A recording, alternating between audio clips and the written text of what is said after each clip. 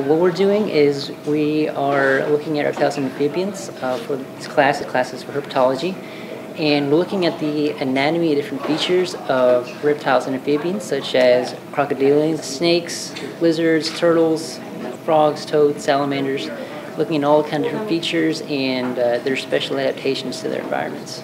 It's a class that uh, looks at a group of vertebrates or animals with backbones that a lot of people don't like very much, but they are very important to the ecosystem, and it's important that people realize that in order to conserve things, you have to know what they are. And so this is a class that will help you identify animals and also investigate how they live and are adapted to the environment around them.